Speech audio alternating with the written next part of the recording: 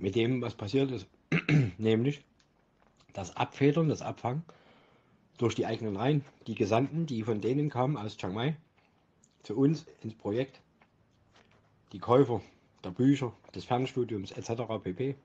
Und man schaue sich an, was mit den einstigsten, einzigsten Verbündeten, Julian Bäuerle, Heiko Glocke, Julia Pöppelbaum, was passiert ist.